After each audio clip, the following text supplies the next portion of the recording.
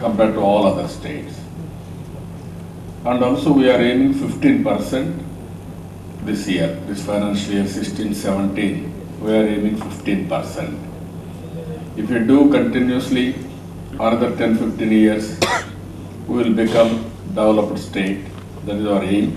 We are having clear targets in the direction.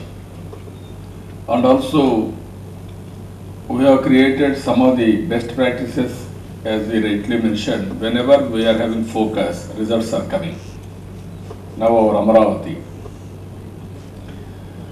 We want to create world-class city, we don't have land also. Immediately we give a call.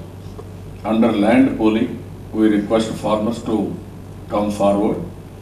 First time globally also if you compare, thirty-four thousand acres of land, voluntarily people have come forward under land pooling system. This is the unheard of it. There will be fifteen Mbps, internet, video, and also telephone, three phones, and also hundred channels. So you want to contact your audience. You can have video conference, dedicated lines, and also you can do as you like. That is what we are having. It is going to give a big change for our program. Like that, we are having so many initiatives.